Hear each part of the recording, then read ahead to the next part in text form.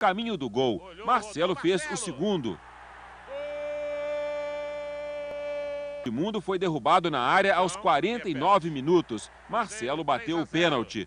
Cruzeiro 4, Juventus 0. A goleada era esperada, mas a torcida não imaginava